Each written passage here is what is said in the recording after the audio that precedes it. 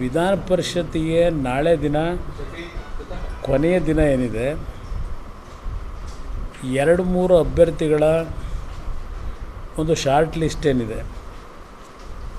ಅದು ಬಹುಶಃ ಇಂದು ಸಂಜೆ ಇಲ್ಲ, ನಾಳೆ ಬೆಳಗ್ಗೆ ಪಕ್ಷದ ಅಧ್ಯಕ್ಷರ ಸಮ್ಮುಖದಲ್ಲೇ ಅಭ್ಯರ್ಥಿಯ ಘೋಷಣೆ ಆಗ್ತದೆ.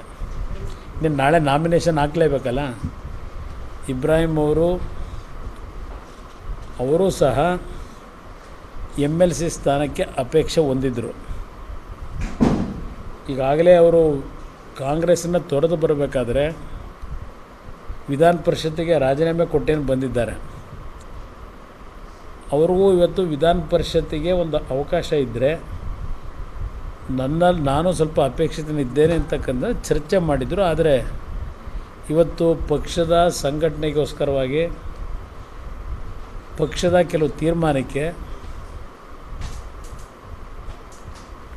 ಎಲ್ಲ ರೀತಿಯಲ್ಲಿ ನನ್ನ ಸಹಮತವೂ ಇರುತ್ತೆ ಅಂತಕ್ಕಂಥದ್ದನ್ನು ಅವರು ಹೇಳಿದ್ದಾರೆ. ಇದರಲ್ಲಿ ಯಾವುದೇ ರೀತಿ ಗೊಂದಲಗಳಿಲ್ಲ. ಬೆಳಗ್ಗೆ ಬಹುಶಃ ರಾತ್ರಿ ಇಲ್ಲ ನಾಳೆ ಬೆಳಗ್ಗೆ ದೇವೇಗೌಡರ ತೀರ್ಮಾನವನ್ನು ನಿಮ್ಮ ಮುಂದೆ ಇಡ್ತಾರೆ ಇದರಲ್ಲಿ ಯಾವ ಸಂಶಯ ಏನಿಲ್ಲ ಕ್ಲಿಯರ್ ಆಗಿದೆ. ಬ ಸಾಯಂಕಾಲದವರೆಗೆ ಸಮಯ ಕೇಳಿದ್ದಾರೆ. ಅಂದ್ರೆ ಇನ್ನೂ ಏನಾದರೂ ಏನು ಸಮಸ್ಯೆ ಏನಿಲ್ಲ. ಕ್ಲಾರಿಟಿ ಇದೆ ಬಟ್ ಸಾಯಂಕಾಲದೊಳಗೆ ಒಂದು ತೀರ್ಮಾನಕ್ಕೆ ಬಂದು ಘೋಷಣೆ ಮಾಡ್ತಾ ಇದ್ದೇವೆ ರಾಜ್ಯಸಭಾದ ಇನ್ನೂ ಐದು ದಿವಸ ಸಮಯ ಇದೆ.